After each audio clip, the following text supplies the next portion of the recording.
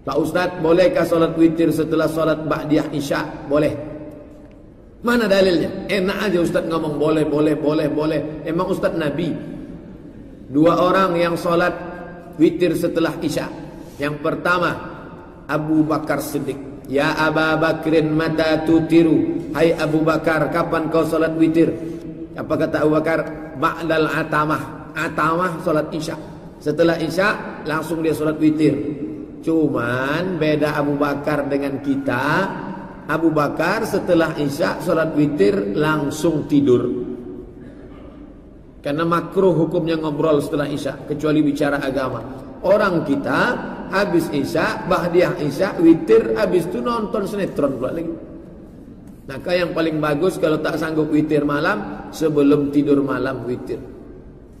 Kalau dibuatnya setelah Isya, baik, tak masalah. Yang kedua, siapa yang witir sebelum tidur? Abu Hurairah.